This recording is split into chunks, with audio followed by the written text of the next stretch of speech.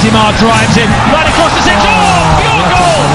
Pure goal! Down, slotted for Ozil, and he slots it home.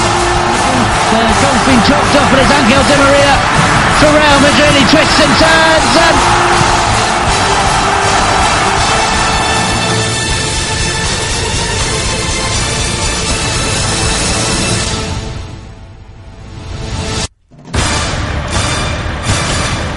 Here he comes.